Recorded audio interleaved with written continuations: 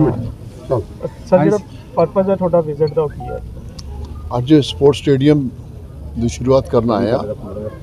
ਬੜਾ ਸੋਹਣਾ sports stadium ਬਣਾਇਆ ਪੰਚਾਇਤ ਨੇ। ਇਹਨਾਂ ਨੂੰ ਮੈਂ ਵਧਾਈ ਦੇਣਾ ਇੱਥੇ ਐਮਐਲਏ ਸਾਹਿਬ ਨੂੰ ਵਧਾਈ ਦੇਣਾ ਤਾਂ ਜੋ ਇਹਨਾਂ ਦੇ ਸਟੇਡੀਅਮ ਦਾ ਸਾਨੂੰ ਫਾਇਦਾ ਹੈ ਵੀ ਨੌਜਵਾਨ ਜਿਹੜੇ ਖੇਡਣ ਦੇ ਪਾਸੇ ਲੱਗ ਰਹੇ ਨੇ ਤੇ ਜਿਹੜੇ ਦੂਜੇ ਚੰਗੇ ਮਾੜੇ ਕੰਮ ਨੇ ਉਹਨਾਂ ਤੋਂ ਹਟ ਕੇ ਉਹਨਾਂ ਦਾ ਧਿਆਨ ਇਸ ਪਾਸੇ ਲੱਗਾ। ਤੇ ਕਿੰਨੇ ਪਿੰਡ ਹੈਗੇ ਜਿਨ੍ਹਾਂ 'ਚ ਖੇਡ ਸਟੇਡੀਅਮ ਦਾ ਆਲਮੋਸਟ ਸਾਰੇ ਪਿੰਡਾਂ 'ਚ ਬਣ ਰਿਹਾ ਜੀ ਕੰਮ। ਹਰ ਪਿੰਡ ਵਾਲੇ ਸਟੇਡੀਅਮ ਮੰਗਦੇ ਨੇ ਹਰ ਪਿੰਡ ਵਾਲੇ ਬੱਚੇ ਜਿਮ ਮੰਗਦੇ ਨੇ। ਸੋ ਇਹ ਕੰਮ ਚੱਲ ਰਿਹਾ ਜੀ ਬੜੇ ਜ਼ੋਰਾਂ 'ਚ। ਸਰ ਬਾਜਵਾ ਜੀ ਵਿਜਿਟ ਤੋਂ ਇੱਕ ਹਟ ਕੇ ਸਵਾਲ ਹੈ ਕਿ ਪੰਜਾਬ ਦੀ ਕੈਬਨਿਟ ਤੁਹਾਡਾ ਵੀ ਇੱਕ ਨਾਮ ਮੰਨਿਆ ਜਾਂਦਾ ਜਿਹੜਾ ਕਾਟੋ ਪੁਲਿਸ ਪਾਰਟੀ ਚੱਲ ਰਿਹਾ ਜੀ। ਤੁਹਾਨੂੰ ਨਹੀਂ ਲੱਗਦਾ ਕਿ ਉਹਨੂੰ ਨੁਕਸਾਨ ਹੋਊ? ਜਿਵੇਂ ਪ੍ਰਗਟ ਸਿੰਘ ਨੇ ਅੱਜ ਕਿਹਾ ਕਿ 2022 ਚ ਸੀਐਮ ਚਿਹਰਾ ਅਸੀਂ ਕੈਪਟਨ ਅਮਰਿੰਦਰ ਸਿੰਘ ਨੂੰ ਨਹੀਂ ਦੇਖਣਾ ਚਾਹੁੰਦੇ। ਚਲੋ ਜੀ ਪ੍ਰਗਟ ਸਿੰਘ ਹੋਰਾਂ ਆਪਣੇ ਵਿਚਾਰ ਦੱਸੇ ਨੇ। ਚੀਫ ਮਿਨਿਸਟਰ ਕਿਹੜਾ ਹੋਣਾ ਹੈ ਤੇ ਹਾਈ ਕਮਾਂਡ ਦਾ ਕੰਮ ਆ। ਜਿਹਨੂੰ ਬਣਾਉਣਗੇ, ਉਹ ਉਹ ਚੀਫ ਮਿਨਿਸਟਰ ਬਣੂਗਾ। ਇੱਕ ਸਰ, ਨਵਜੋਤ ਸਿੰਘ ਸਿੱਧੂ ਨੇ ਕਿਹਾ ਕਿ ਮੈਂ ਕੱਲ ਤੋਂ ਹੀ ਆਪਣੇ ਪਟਿਆਲਾ ਤੇ ਅੰਮ੍ਰਿਤਸਰ ਨਿਵਾਸ ਸਥਾਨ ਤੇ ਕਾਲੇ ਝੰਡੇ ਲਾਉਣ ਜਾ ਰਿਹਾ ਕਿ ਉਹਨਾਂ ਨੇ ਕੈਪਟਨ ਸਾਹਿਬ ਦੀ ਜਿਹੜੀ ਅਪੀਲ ਆ, ਉਹਨੂੰ ਵੀ ਦਰਕਨਾਰ ਕੀਤਾ ਜੀ। ਕਾਲੇ ਝੰਡੇ ਪਤਾ ਨਹੀਂ ਕਿਸਾਨਾਂ ਦੇ ਹੱਕ 'ਚ ਲਾਉਣ ਜਾ ਰਿਹਾ ਜਾਂ ਕਿਸ ਕੀ ਮਕਸਦ ਹੈ ਉਹਦਾ ਕਾਲੇ ਝੰਡੇ ਲਾਉਣ ਦਾ? ਮੈਨੂੰ ਤਾਂ ਪਤਾ ਨਹੀਂ ਕੀ ਮਕਸਦ ਕਹਿਣਾ ਚਾਹੁੰਦਾ ਕਾਲੇ ਝੰਡੇ।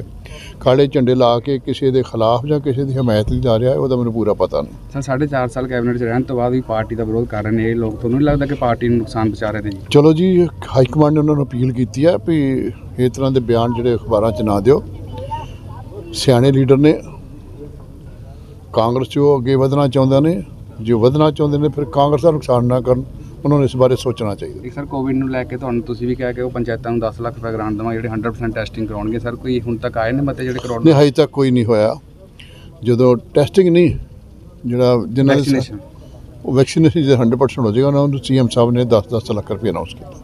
ਤੇ ਜਿਹੜੇ ਕੋਵਿਡ ਨੂੰ ਲੈ ਕੇ ਅਗਲੀ ਰਣਨੀਤੀ ਕੀ ਰਹੇਗੀ ਪੰਜਾਬ ਸਰਕਾਰ? ਇਹ ਪੰਜਾਬ ਸਰਕਾਰ ਸੀਐਮ ਸਾਹਿਬ ਦੱਸਣਗੇ ਜਿਸ ਤਰ੍ਹਾਂ ਦਾ ਮਾਹੌਲ ਬਣੇਗਾ ਜਿਸ ਤਰ੍ਹਾਂ ਦੀ ਬਿਮਾਰੀ ਵਧੇ ਘਟੇਗੀ ਉਹਦੇ ਮੁਤਾਬਕ ਫੈਸਲਾ ਹੁੰਦਾ।